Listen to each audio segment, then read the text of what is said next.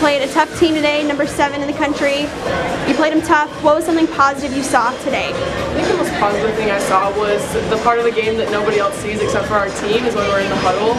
And even in that third match where we come together and we really take a second to reevaluate what our goals are and why we play. And we've set some goals for our team on our own time in our own meetings. And the thing that we really want to work on is coming together as a team and playing for each other and rather than playing for the community or for the school or for anything else, just really focusing on ourselves and our team and our connection. And I think that that fight really showed during the third set. We just took a little while to fight back against Rocky, but they're a good opponent and we're going to see them again. All right, so you have a little break from conference play. How do you use that break to get ready for more conference games? I think we're going to use that break, kind of like I said, to just come to practice. We've seen all the teams in our conference once at this point, so we get an opportunity to take two weeks of practice and a non-conference game to really use those skills that we've learned. You faced a tough opponent, number seven, Rocky Mountain.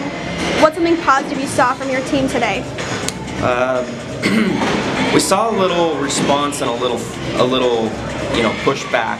Um, and, and I think that that fight's going to go a long ways if we can learn how to make that more of a norm than the exception. All right, now what are you going to do with the break you have before your next set of conference games?